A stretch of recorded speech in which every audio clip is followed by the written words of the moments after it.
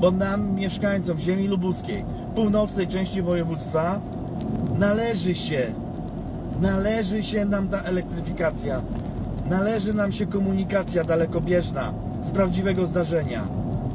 Panie premierze Morawiecki, pan wolisz, żebyśmy mieli bliżej do Berlina czy do Warszawy?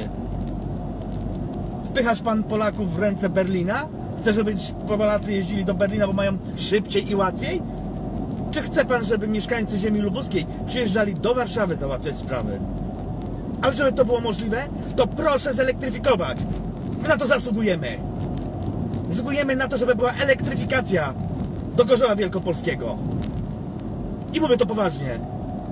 Panie Mateuszu, do roboty, a nie zbierać kasę. Normalnie nie północ.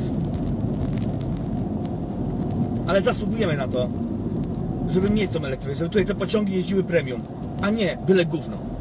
Przepraszam bardzo, bo jestem zdenerwowany, będę kończył. Do widzenia.